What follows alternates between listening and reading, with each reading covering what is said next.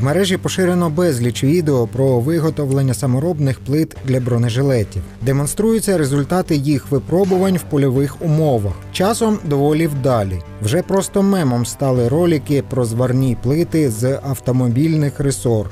Добре, коли такі вироби потрапляють до рук військових фахівців. Якщо ми будемо говорити про кольову стійкість, він тримає загрозу на рівні 4 класу. Про це плита в 6 кг, а деколи такого роду вироби доходять і до 8 кг в одній пластині. У порівнянні з плитою в 3,2 кг при збереженні тих самих захисних властивостей, я думаю, коментувати не потрібно. Це тільки самі плити по 6-8 кіло, а ще сам жилет, зброя, сухпай, вода, боєкомплект та інше.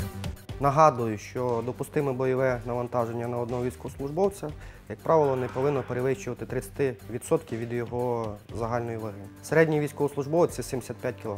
Тобто в загальному на військовослужбовці має бути не більше 22 кг.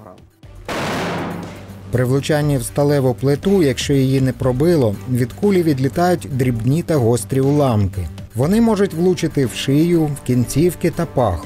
Передбачливі виробники вкривають пластини антирикошетним шаром.